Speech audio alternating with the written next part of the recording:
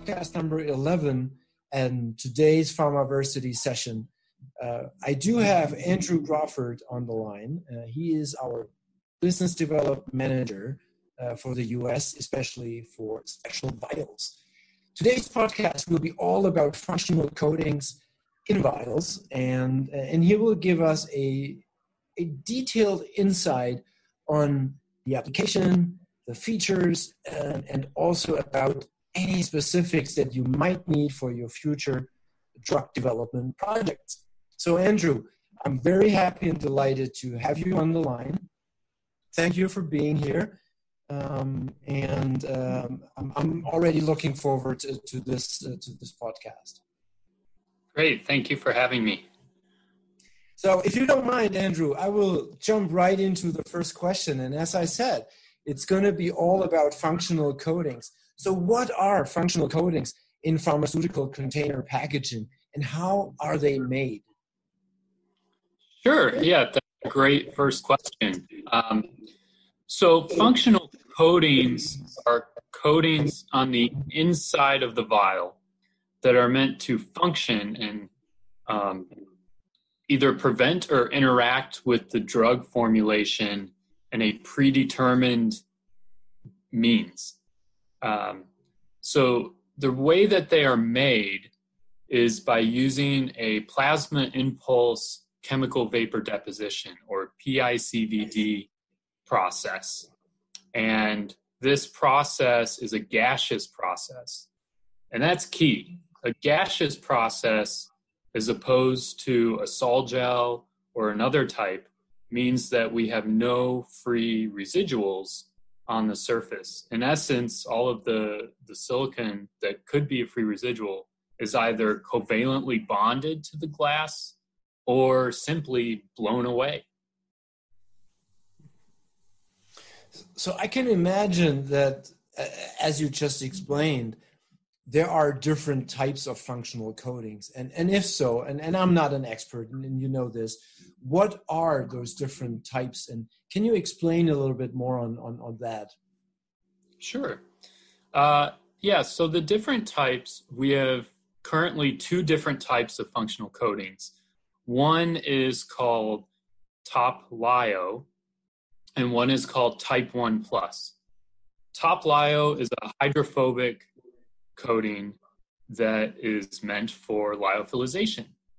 Um, and type 1 plus is an ion barrier quartz like coating that functions to block ion exchange as well as pH shift and protein absorption, just to name a few applications.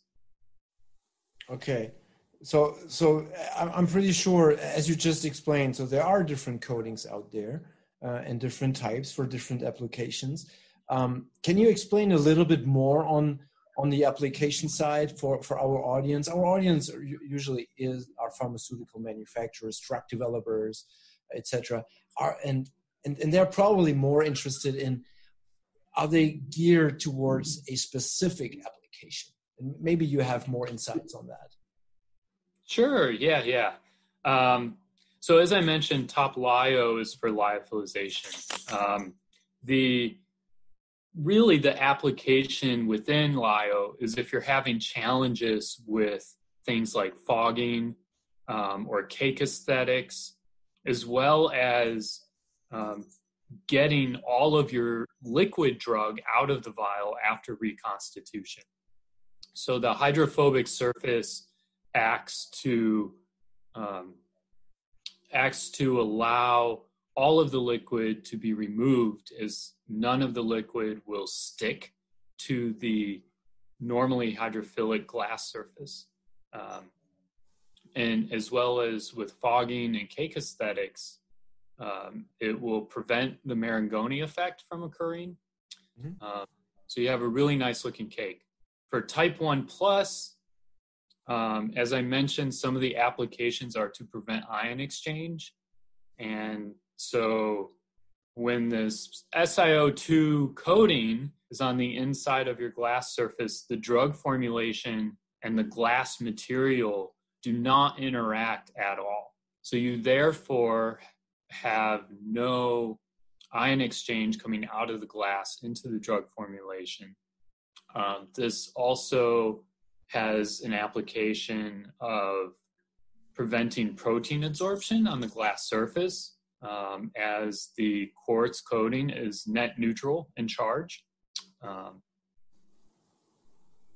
yeah, so so that's a little more detail about the specific applications.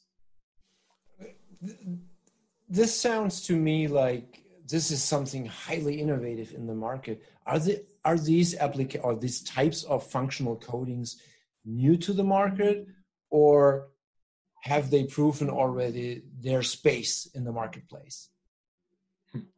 Good question. Um, yeah, they are highly technical and, and innovative coatings. Um, but, and maybe this isn't the answer one would expect, they're not new to the market.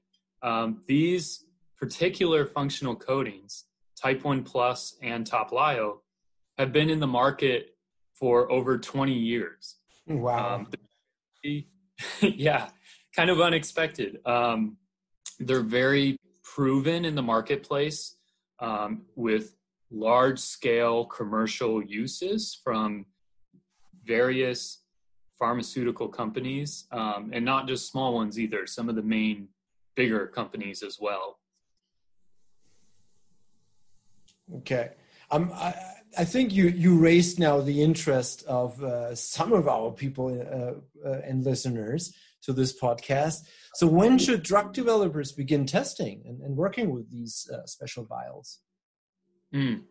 Yeah, no, that's a great question. You know, uh, really as soon as possible. The earlier you can start working with these in your drug development cycle, the better.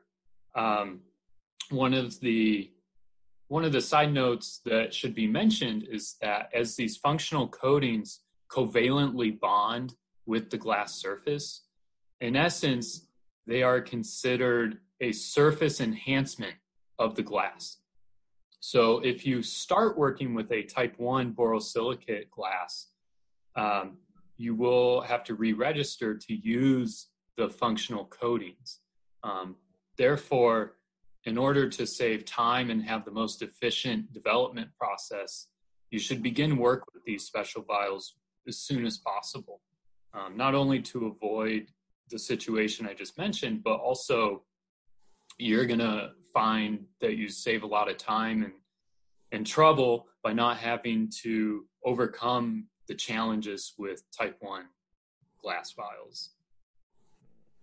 So, so, so you mentioned, and, and, and I, at least I, I understood, one of a key feature is the hydrophobicity of, of that coating, of one of the coatings, and the covalently bonded uh, coating. And how does how does Schott test and, and prove the functionality of the coating? Are there any special release criteria or methods uh, being applied that you can share with our audience? Um, and sure. What do you do? Yeah, absolutely. Um, because each coating is unique and special and has a particular purpose, we test them differently. Top Lyo, uh, we test the hydrophobicity um, using a, an opaque test fluid, and we agitate this fluid within the vial and observe visually the hydrophobic nature of the opaque fluid. And um, if the coating was not there or if it was damaged, um, we would easily be able to see this. As far as type 1 plus, um, you know, we have within pharma, we have the glass grains test to test the chemical composition of the bulk glass itself. We have the surface hydrolytic resistance test. Um, but Schott goes even a step further with type 1 plus. Um, we have uh, our own unique test, which instead of using water, uh, we use 0.1 normal hydrochloric acid, which is extremely aggressive. Uh, we do the test for six hours at elevated temperature instead of one hour. And our pass criteria is more than 10 times stricter than the hydrolytic resistance test. So we use a more aggressive test and have stricter pass fail criteria um, to make sure there's no sodium leaching or extracting out of the glass through the coating.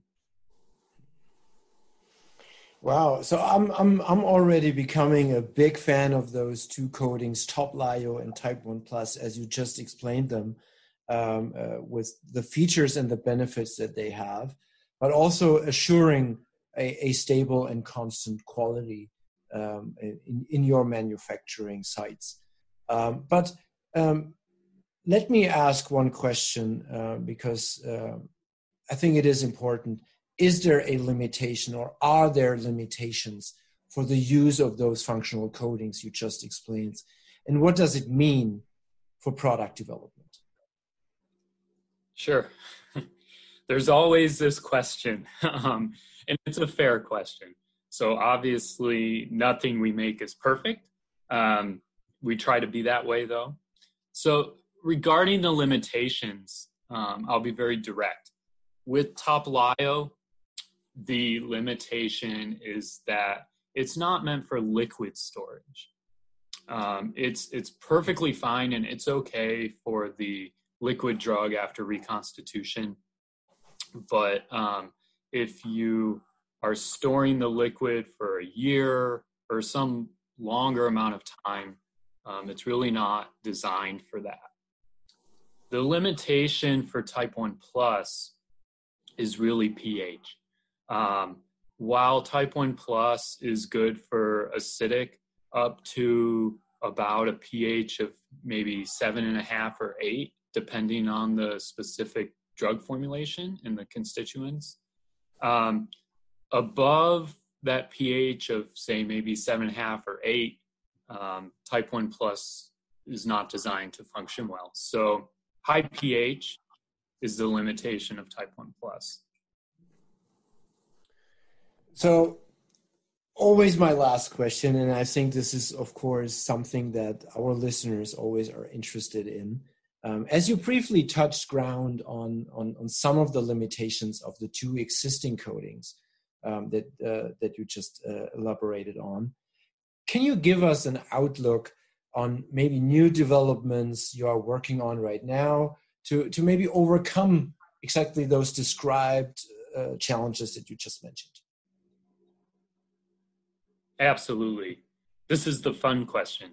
Um, we are working on something uh, to overcome these challenges. And what we have in our R&D pipeline, uh, we have a new functional coating. So this is not intended to replace the other two, but be an additional option for pharmaceutical drug developers. This functional coating will be called Everic Care, and um, it's going to combine the best of both worlds. So it will be able to handle liquids. It will be hydrophobic. The pH range will be extended especially in the higher pHs, above pH 8, above pH 9. Um, so, really, when you have these extremely difficult drugs that just don't want to cooperate, Everic Care is going to be your functional coating of choice. And as I mentioned, um, it's not replacing Type 1 Plus or Top Lyo. It's simply another tool to put in your toolbox when you're looking at primary packaging for your drugs.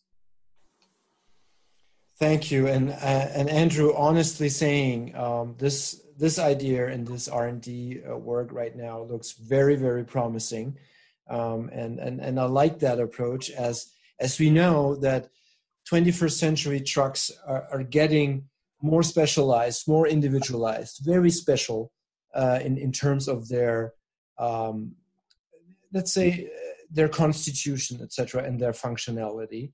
Um, I think it is time to have a broad portfolio of different types of features in a vial, and and you you perfectly explained that. I I, I can only thank you um, for this uh, for this insight and sharing your knowledge uh, on functional coatings uh, within this podcast. Oh, you're very welcome. And once again, uh, thank you for having me, and thank you everyone for for listening. Yeah, thank you um, to the audience, to our listeners.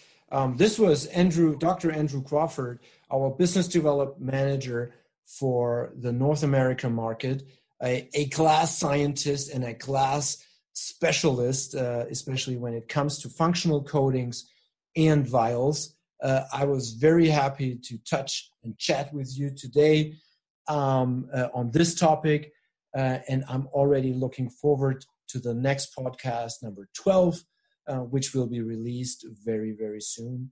So thank you. Thank you for listening, and thank you to the audience for being here today.